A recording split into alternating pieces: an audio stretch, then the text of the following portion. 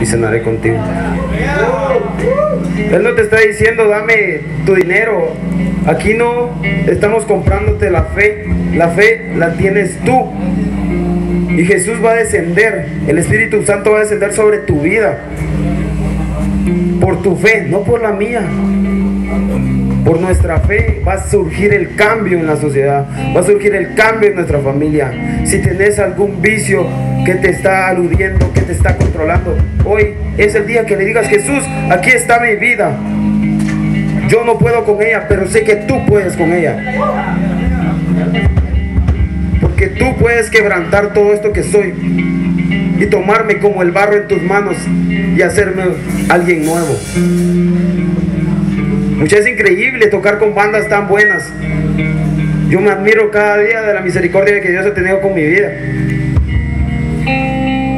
Yo pasé por muchos momentos malos y les quiero contar un poco. En algún momento el alcohol era divertido para mí.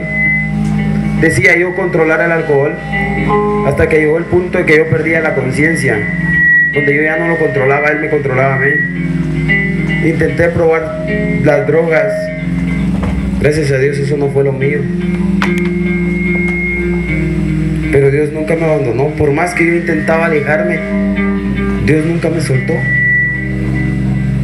Y aquí estoy de pie, no por mis fuerzas, sino por sus fuerzas, por su misericordia, por su gracia, por su amor. Y hoy todos estamos aquí con una sola misión. Una misión de llevarnos esto que se llama Jesús, esta persona que tanto nos amó, que sacrificó su vida en una cruz para que tú y yo estemos bien, para que nuestros pecados fueran perdonados. Y le doy gracias a todas las bandas que pasaron anteriormente.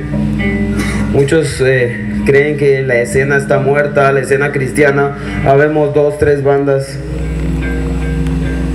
pero quiero decirles algo, esto se trata de fe y convicción.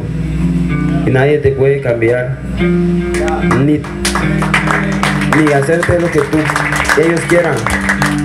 El único cambio radical van a hacer en Jesús. Y ante todo, muchas gracias por su presencia. Disfrútense esto. Disfrútenlo. Es para alguien, para alguien que está aquí con nosotros. Esto es para Jesús.